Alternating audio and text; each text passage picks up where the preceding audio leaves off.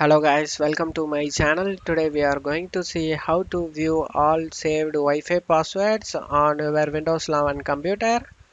I show you guys. Go to search pro and type control panel. Click on open it. Select view by two large icons and you just need to select this network and sharing center under the internet you just need to select your network connection guys.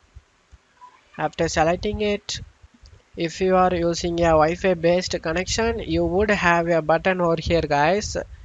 Next to details it would say wireless properties.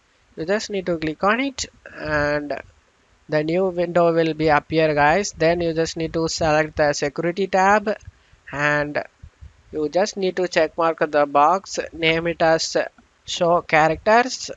And again I am saying it.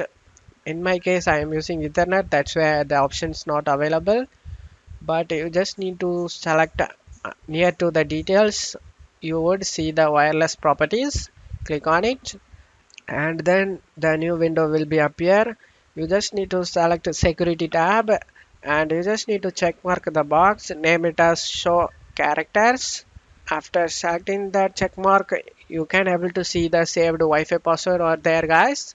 I hope this video helped you guys. If the video helped you don't forget to leave a like guys. You can also subscribe me and support me guys. Thank you